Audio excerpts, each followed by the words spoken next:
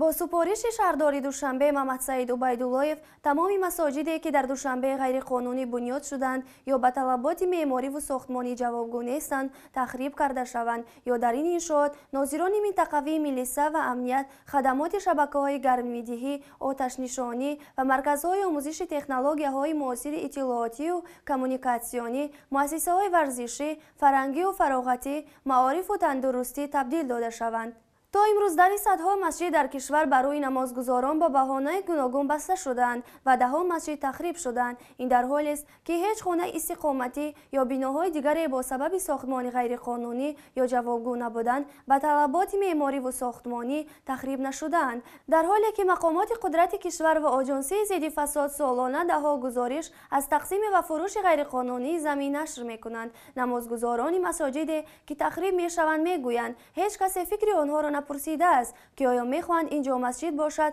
ё китобхонаву чойхона. Яке аз намозгузорон дар суҳбат бо хабарнигорони сомона изҳори нигаронӣ кард ки агар давлат ин қадар дар ғами китобхонии мардум аст. Чаро гӯшаи масҷидашонро ба китобхона табдил надодааст то ҳам намозгузорон китоб хонанд ҳам китобдӯстдорон намоз. Қонунҳои кишвар пешбинӣ карданд. Дар сурати навиштани ариза аз тарафи даҳ нафар намозгузор давлат муваззаф аст ҷое барои сохтани масҷид ҷудо созад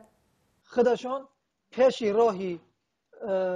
رشد اسلام را در تاجیکستان بگیرند و هر قدر کوشش کنند که صفی مکان عبادت مخصوصا مسجدها کم کرده شوند به این وجه اونها می‌خواهند که مردم اکثرا به مسجدهای بروند که لجام اون, اون امامان اون مسجد در دست حکومتداران فعلی است.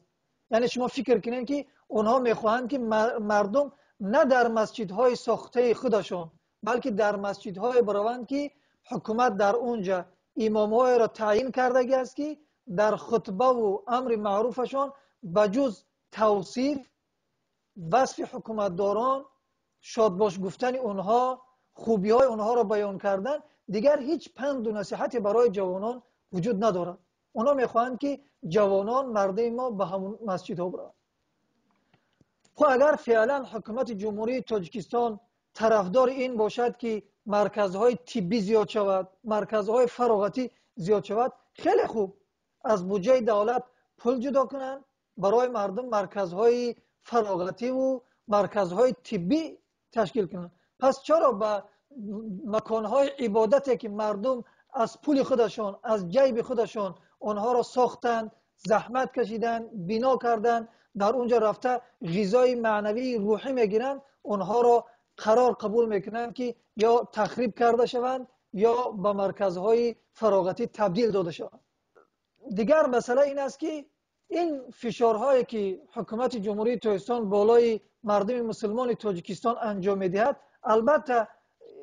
رشد افرادگرایی را در تاجیکستان زیاد می‌کند زیرا جوان تاجیک در تاجیکستان ریشش تراشیده شود حجاب زنش گرفته شود از مسجد که با پول حلال خودش بنا کرده شده است محروم شود. تمام قانون هایی که تمام